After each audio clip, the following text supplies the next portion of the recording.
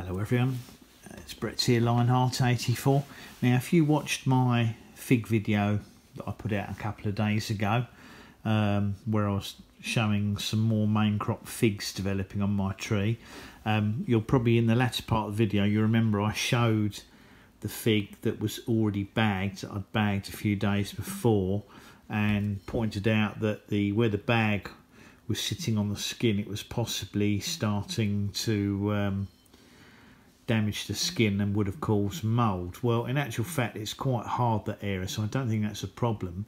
But I picked the fig anyway because it was starting to split across the bottom, which is a common problem with figs, but especially in our country when you get large quantities of rain, which we have been having recently. But the fig itself looks quite um, looks quite respectable, so I thought I'd probably cut it in half and do a quick tasting. The others are still on the tree, hopefully ripening a little bit more. Let's get my knife and we'll cut that in half.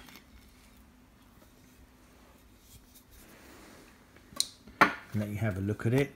Now this is definitely much drier than the one I had a week ago. There's no um, there's no sort of noticeable juice in the middle, but it's not dried out as they sometimes are.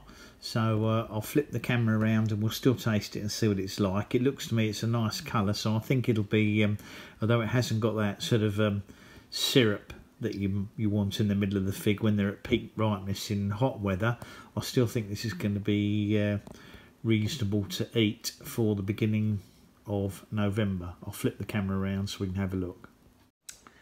Okay, so welcome back to the second part of the video. We're going to give this a little taste, see if it is edible or not. Looks quite a nice colour, as I said, but there's no uh, syrup or liquid in the middle of the fig.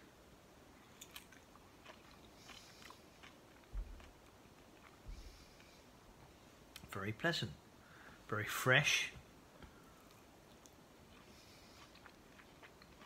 Little crunch to it. It's not dried out in the middle. I have left it in the fridge this one for a day because obviously I picked it in the morning while it's daylight and I have to taste it in the evening.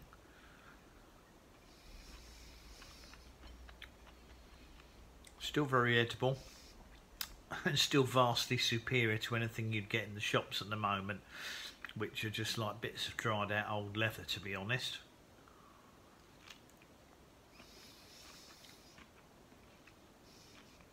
Very good for the beginning of November. No comparison with the, the breba crops you get that I was getting in July. I mean, they were absolutely soft, juicy, sweet.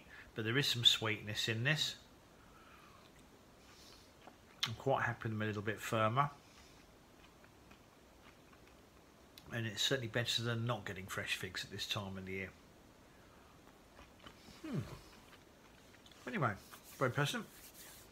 Thanks for watching please give me a thumbs up. Share the video if you think anybody would be interested. Subscribe to my channel of course. And click on the bell if you want uh, updates on new videos when they come out. I'll catch up with you all soon. It's Brett out for now